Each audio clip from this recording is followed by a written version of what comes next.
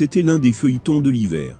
Ousmane Dembélé, 24 ans, a préféré rester au FC Barcelone, bien que son contrat expire en juin prochain avec le club culé.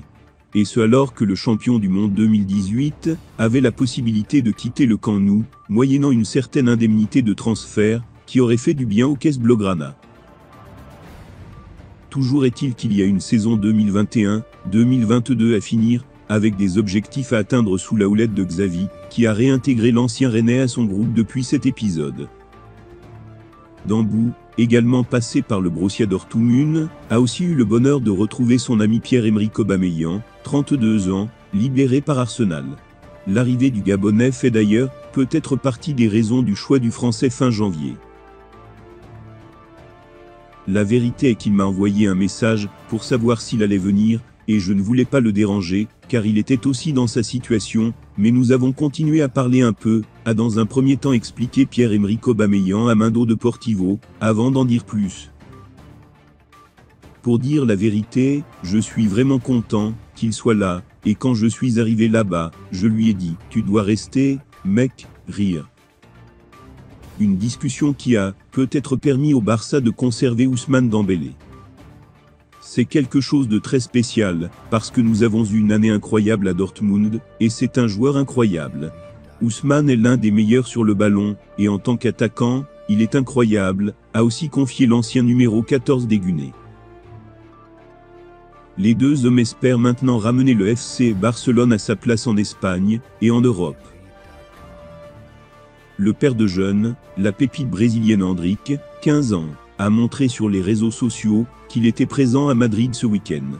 Le buteur brésilien de Palmeiras, qui est présenté comme un futur grand joueur, est pisté par de nombreux clubs européens, comme le PSG, Chelsea, le Barça et bien sûr le Real Madrid.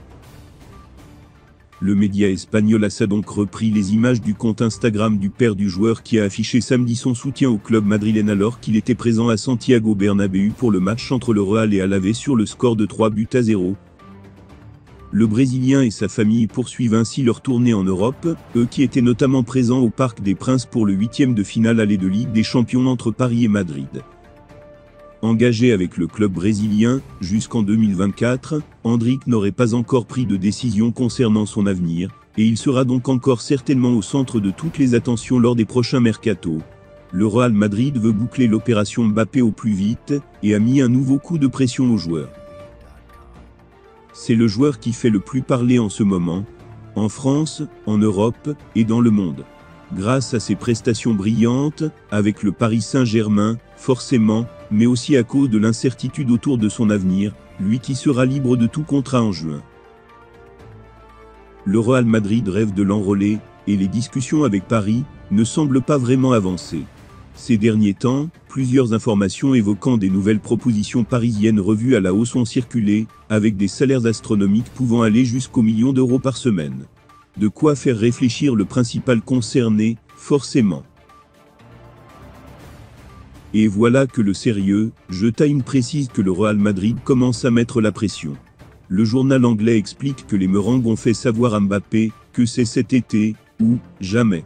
S'il venait à revenir sur l'accord oral, qui existe déjà avec les Merengues en signant un nouveau contrat à Paris, les dirigeants du Real Madrid ne tenteront plus jamais de le recruter. Le journal précise, ainsi que les Madrilènes sont un peu moins confiants en ce moment, d'où ce coup de pression. Les derniers assauts du PSG, dans ce dossier sont vus comme potentiellement dangereux d'un point de vue meringue, et dans les bureaux du Santiago Bernabéu, on craint que le Parisien finisse par céder et signe un nouveau contrat avec le leader de la Ligue 1 notamment parce qu'il s'agit de sommes exorbitantes que la Casablanca ne peut se permettre de poser sur la table. Affaire à suivre donc,